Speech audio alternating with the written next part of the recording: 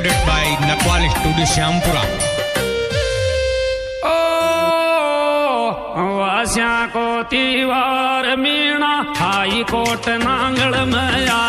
वास्या को तीवार Meena high court Nangal में वास्या को तीवार मीणा हाई कोट नांगल में वास्या को तीवार